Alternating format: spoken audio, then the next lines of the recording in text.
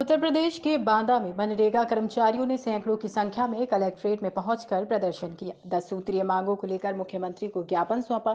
कर्मचारियों ने ज़िले के अधिकारियों पर आरोप लगाया और कहा कि 4 अक्टूबर 2021 को मुख्यमंत्री जी ने लखनऊ में सभी ज़िले के मनरेगा कर्मचारियों के साथ एक बड़ा सम्मेलन किया था और मुख्यमंत्री जी ने मनरेगा कर्मचारियों के लिए कई बड़ी घोषणाएँ भी की थी। लेकिन तीन वर्ष बीतने के बाद भी अधिकारी कोई सुध नहीं ले रहे हैं। कहा कि अगर दीपावली तक उनकी मांगे पूरी नहीं हुई तो तो पूरे प्रदेश के मनरेगा कर्मचारी लखनऊ में प्रदर्शन करेंगे और इसकी ज़िम्मेदारी मुख्यमंत्री योगी आदित्यनाथ जी की होगी।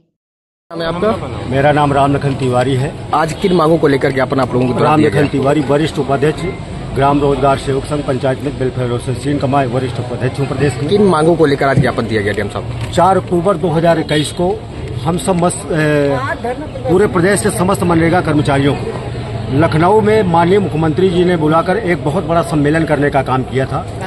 उस सम्मेलन में हम सब लोगों के लिए मनरेगा कर्मचारियों के लिए तमाम घोषणाओं की हितों को ध्यान में रखकर तमाम घोषणाएँ की थी। लेकिन दुर्भाग्य इस बात का है कि इस प्रदेश के मुखिया के कहने के बावजूद भी आज तीन वर्ष का कार्यकाल दोबारा पंचवर्षीय का पूर्ण होने के बाद एक मुख्यमंत्री के द्वारा कही गई किसी भी बात पर आज तक अमल नहीं किया गया और उनके प्रशासनिक अफसरों ने लगातार उनको गुमराह करने का काम किया। और जिन भी घोषणाएँ की थी आचार पॉलिसी है हमारा ईपीएफ है हमारे तमाम मनरेगा कर्मचारी काल के मुँह में समा गए किसी उनके परिवार को एक रुपए की किसी प्रकार की आर्थिक सहायता नहीं मिली। एचआर पॉलिसी की घोषणा माननीय मुख्यमंत्री जी द्वारा की गई थी। तीन वर्ष व्यतीत हो जाने के बाद आज तक एचआर पॉलिसी नहीं लागू की गई। ईपीएफ, हम लोगों के मानदेय ईपीएफ काट लिया गया।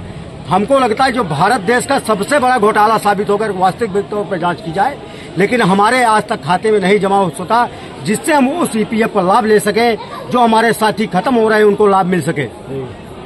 यही दस सूत्री मांगों को लेकर आज मनरेगा कर्मचारी बांदा में चार अक्टूबर के दिन माननीय मुख्यमंत्री को उनका वादा याद दिलाने के लिए आंदोलन करने के लिए मजबूर हुआ। अगर दीपावली के पूर्व तक हमारी समस्त मांगों पर विचार नहीं किया जाता तो पूरे प्रदेश का मनरेगा कर्मचारी लखनऊ की धरती पर आंदोलन करने के लिए बाध्य होगा, जिसकी संपूर्ण ज़िम्मेदारी इस प्रदेश के मुखिया माननीय मुख्यमंत्री योगी आदित्यनाथ जी की होगी।